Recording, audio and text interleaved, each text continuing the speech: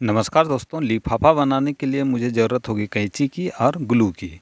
और एक ए four size का मैंने पेपर लिया हुआ है। इस ए फोर साइज़ के पेपर को मैं चार टुकड़ों में बांटने वाला हूँ। चार टुकड़ों में से दो टुकड़ों में मैं एक अलग टाइप का ये लिफाफा बनाऊँगा और दो टुकड़ों से अलग टाइप का, यानी कि वर्टिकल और हॉरिजेंटल तो देखिए, इसको मैं काट रहा हूँ, बीच से। ए फोर साइज़ का पेपर है, इसको मैं बीच से काट रहा हूँ। इसके बाद इन दो पेपर को भी बीच से मैं काटने वाला हूँ। तो इस तरह से ये चार बराबर टुकड़े में बैठ जाएँगे ए फोर साइज़ का पेपर, और इसमें से हम अब इसको लिफाफा बनाएँगे। तो बहुत ही सरल विधि से बनाना है, आसान है तरीका। देखिए, इस तरह से इसको बराबर फोल्ड कर लीजिए। दो पेपर मैंने लिया हुआ है हाथ में अपना। तो बराबर एक का ऊपर एक जो फोल्ड है, एक दूसरे को ऊपर में होना चाहिए इस तरह से। इसके बाद कैंची की सहायता से इसके चारों कोनों को इस तरह से काट लेना है। ध्यान से देखिए, बहुत ही आसान है। चारों जो कोना है, उसको बराबर बराबर इस तरह से काट लेना है। जब हम इन चारों कोनों को काट लेते हैं तो ये इस तरह से नज़र आता है। अब इसको हमको इस तरफ़ से हल्का तिरछा करके काटना है। देखिए, थोड़ा सा नीचे की ओर डाउन करके और जो कटिंग भाग है, उस और ऊपर होना चाहिए। इस तरह से थोड़ा सा तिरछा काटना है। चारों और यही प्रक्रिया अपनाना है। यहाँ में भी थोड़ा सा उसी के बराबर ही अनुमान लगाकर काट लेना है। इस और हो गया। अब ये दूसरी और भी मैं उस तरह से इसको काट रहा हूँ। तो इस तरह से चारों और इसको काट लेना है। जब चारों और काट लेते हैं तो आपका जो लिफाफा बनाने का जो परफॉर्मा या डायग्राम है, वो कंप्लीट हो जाता है। अब इसको फोल्ड कर लेना है, इस तरह से, एक के ऊपर एक, और एक साइड का मुँह को बंद कर देना है। तो जो, जिस साइड आपको थोड़ा अच्छा नज़र आ रहा है, उस साइड को छोड़कर दूसरी ओर से आप इसको फोल्ड कर लें। तो इस तरह से ये एक लिफाफा बन गया है। दूसरे वाले कटिंग को भी उसी तरह से हम फोल्ड कर लेंगे। और एक एक भाग को हम उसका मुँह बंद कर देंगे, एक भाग की ओर से। तो इस तरह से ये दूसरा लिफाफा भी रेडी हो गया है। अब हम ग्लू की सहायता से इसका जो बंद भाग है, उनको हम चिपका लेंगे। इसके बाद ये तो वर्टिकल टाइप का हो गया लिफाफा। इसके बाद हम हॉरिजेंटल टाइप का, यानी कि चौड़ा जैसा, चौड़ा भाग का जो लिफाफा होता है, उसको हम बनाएँगे। तो सबसे पहले हम इसको चिपका लेते हैं। देखिए, ये वाला भाग और ये वाला भाग, इसको हमें चिपकाना है। यहाँ पर गोंद लगा देते हैं और उसके बाद ये वाला पोर्शन में हम गोंद लगाएँगे और इसको इस तरह से चिपका देंगे। इसी तरह से दूसरे लिफाफा को भी हमें चिपकाना होगा।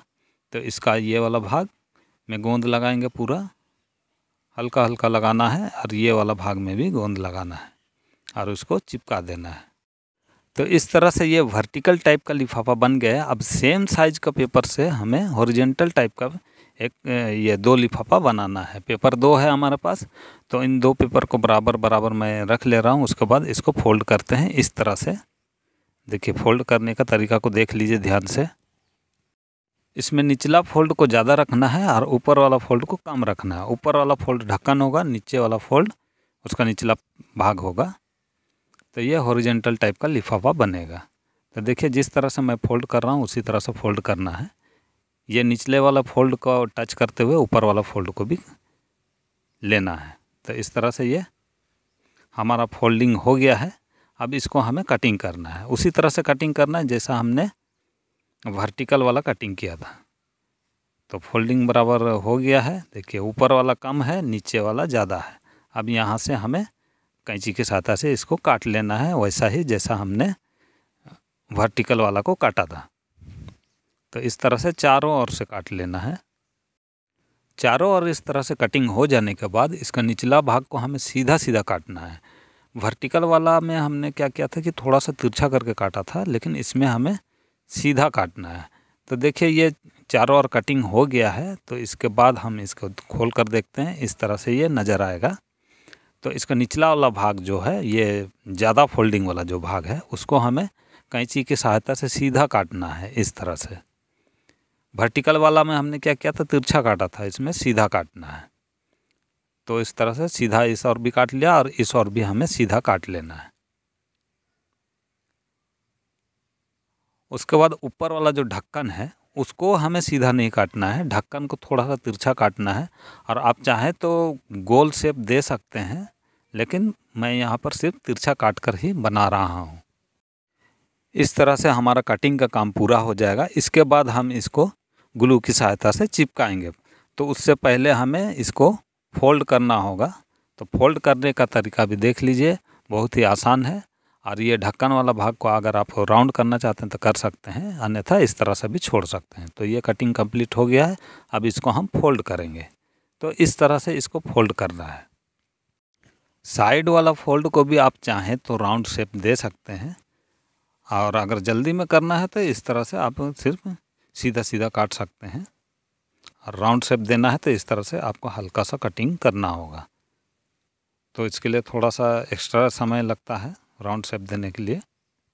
लेकिन जल्दी में अगर आपको बनाना है तो सीधा सीधा काट के भी आप बना सकते हैं। इसके बाद ग्लू की सहायता से हम इसका जो साइड वाला फोल्डिंग है उसको चिपकाएँगे। तो साइड वाला फोल्डिंग को चिपकाने के लिए आपका जो नीचे वाला फोल्डिंग के बराबर ही ग्लू लगाना है, अन्यथा वो साइड वाला फोल्डिंग बैक साइड भी चिपक जाएगा। इसलिए इसको ग्लू लगाने का थोड़ा सा तरीका पर ध्यान देना होगा आपको। तो यहाँ पर देखिए थोड़ा सा मैंने इसका राउंड शेप कर दिया है। अब हम इस पर ग्लू लगाएँगे। तो यहाँ पर देखिए ये ग्लू लगाने का तरीका, यहाँ से लेकर ये जो फोल्डिंग का जो भाग है, वहीं तक ग्लू लगाना है। यहाँ पर भी यहाँ से फोल्डिंग है, यहाँ से हम ग्लू लगाएँगे, उसके बाद इस और और उसके बाद इसको चिपका देंगे। अगर पूरा में ग्लू लगाएँगे तो वो बैक साइड भी चिपक जाएगा, इसीलिए ग्लू लगाने का तरीका पर थोड़ा सा ध्यान देंगे। यहाँ से शुरू कर रहे हैं, और फोल्डिंग जहाँ तक है, निचला वाला, वहाँ तक ही ग्लू लगाना है, यहाँ तक बस। तो इस तरीक़ा से ये दोनों लिफाफा एक ही पेपर साइज़ में बनकर तैयार हो गया है। तो इस तरह से आप जल्दी से लिफाफा बना सकते हैं। तो बहुत बहुत धन्यवाद वीडियो देखने के लिए। धन्यवाद।